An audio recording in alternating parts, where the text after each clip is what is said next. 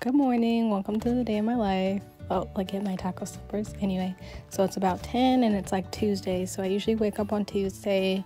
My boyfriend's already sitting in my living room because he gets up at the butt crack of dawn. There he is. And there's our friend Connor.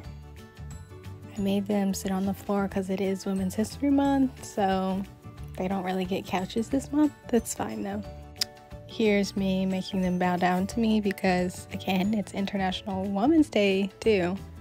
And Connor's taking a second to bow to me, which is rude, but whatever. But I literally just woke up, so let me go at least like brush my teeth or do something. Bye.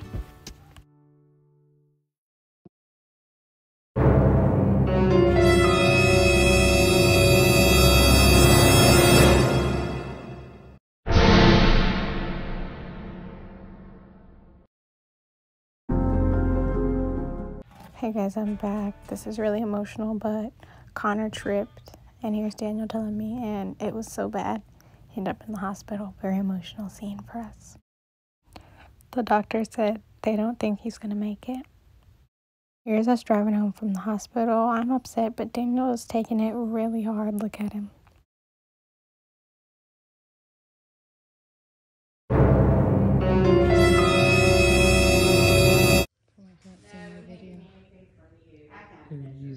Think you have to get her permission.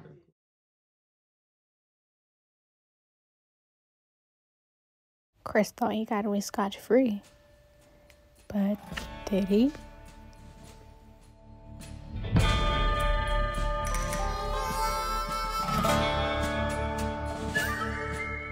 Battle's coming. Who's gonna win? Who knows?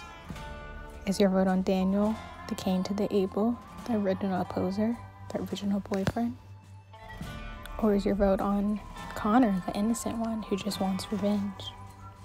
Battle of a Century coming in 2026. Karate Connor versus Dodgeball Dan. Who will win?